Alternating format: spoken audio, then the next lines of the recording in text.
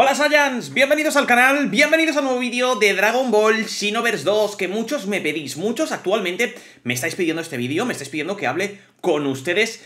Ya me encuentro bien, el tratamiento está haciendo efecto, la verdad es que ya no tengo eh, granitos blancos, la cámara exagera muchísimo, o sea, es decir, estoy mucho mejor de lo que avisa la cámara, parezco un gusiluz porque llevo diferentes diferentes cremas y diferentes cositas que me tengo que echar hasta que no termine del todo el tratamiento.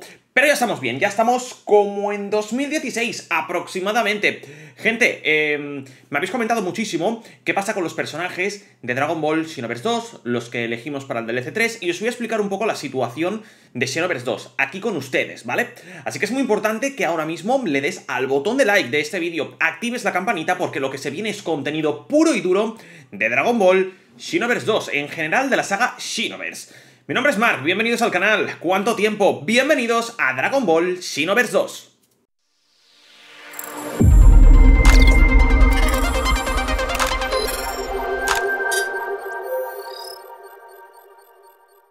Bien, gente, eh, como ya sabéis, hace tiempo nos hicieron eh, votar por ciertos personajes de Dragon Ball Xenoverse 2 en los cuales, pues bueno, podemos encontrar eh, como personajes jugables, como mascotas, como ropa adicional, tenemos la ropa de Vegeta, tenemos la ropa de Bulma que parecía un astronauta, tenemos la ropa también... Em, no me acuerdo quién teníamos la ropa también, de Yamcha en honor a Bruce Lee, Teníamos también personajes para votar como Dispo, tenemos personajes para votar como Vegeta GT, como Goku Ultra Instinto sin dominar. Lógicamente ha ganado Goku Ultra Instinto sin dominar, pero muchos me estáis preguntando qué pasa con esos personajes. Y yo os lo voy a responder aquí, en este vídeo, porque las noticias de Xenoverse 2 siguen estando a la orden del día.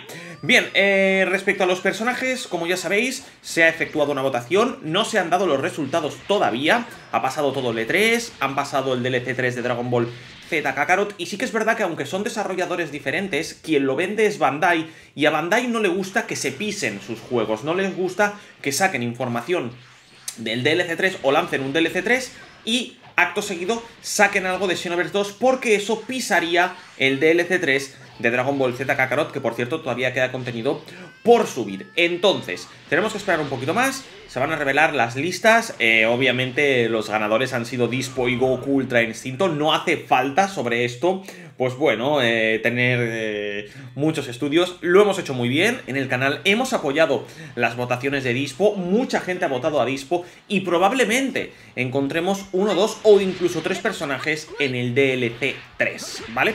En el DLC 3 de Dragon Ball Xenoverse 2 vamos a encontrar los personajes que hemos votado, las ropas que hemos votado, las mascotas que hemos votado y también nos van a añadir algo más. La televisión de Conton City también, aparte, también van a poner algunas cositas bastante interesantes. Respecto a la continuidad de Dragon Ball Xenoverse, respecto a seguir con Dragon Ball Xenoverse, pues bueno, el juego ya tiene sus años, yo voy a seguir, en el canal de Twitch que tenéis en la descripción, donde me podéis seguir, o en el de YouTube, ¿vale? Voy a lanzar una encuesta, ¿vale? Voy a empezar a hacer directos con un personaje diferente. Me he dado cuenta que en Xenoverse 2 tengo el Saiyan, que es el que siempre he tenido, y no me he pasado la historia con ningún personaje más. Me gustaría descubrir el Namekusein, el Freezer, el Guerrero, eh, el humano, por así decirlo, eh, el Bu me gustaría pasarme la historia con diferentes personajes, no solo con el Saiyan. Por eso es que voy a empezar a realizar directos de Dragon Ball Xenoverse 2 completando la historia y así vosotros también vais a poder, si estáis atascados, resolver alguna duda. ¿Esto dónde lo voy a hacer? Pues en el canal de Twitch que aparece en la descripción o en el canal de YouTube. Lanzaré una votación en YouTube, en la pestaña comunidad, donde podéis acceder, podéis eh, votar conmigo y veremos, pues bueno, pues eh, las diferentes causas y veremos a ver dónde hacemos los directos como ya digo, del Xenoverse 2. Tenéis que estar muy atentos. ¿Va a haber algún DLC después del DLC 13? Pues yo sinceramente creo que no. Sinceramente espero un anuncio de un juego de nueva generación para Dragon Ball. Esto se puede dar en la Gamescom, en la Tokyo Game Show, en la Japan Games no sé qué. Probablemente mm, Bandai no suele hacer los anuncios de sus juegos de Dragon Ball en L3, sino en eventos suyos y en eventos que tienen que ver con el anime, con lo cual habrá que esperar en este 2021 creo que sí que vamos a ver algún juego de Dragon Ball, ya sea un Raging Blast, un Tenkaichi, un Xenoverse, un Dragon Ball Super Kakarot, un Dragon Ball Kakarot, no sé qué juego de Dragon Ball o una nueva IP, no sé qué juego de Dragon Ball realmente van a lanzar, pero estoy apasionado, ¿no? A mí me gustaría que fuese el Xenoverse 3, pero si no lo es, pues tampoco podemos montar aquí un drama, porque tenemos el Dragon Ball Xenoverse 2 y el DLC 13, creo que podría ser uno de los últimos DLCs, a no ser que se presente la película y quieran sacar otro DLC de Xenoverse 2, en cuyo caso lo jugaríamos en el canal. Vamos a dar cobertura de todo el DLC número 13, pero eso sí, gente, eh, las votaciones tranquilos con los personajes, porque los personajes todavía no se han anunciado, las listas y los ganadores no se han anunciado todavía, pero estamos aquí a full de mango en el canal. Ya hemos vuelto, ya no nos pica la cara, ya estamos genial, ya estamos como en 2016.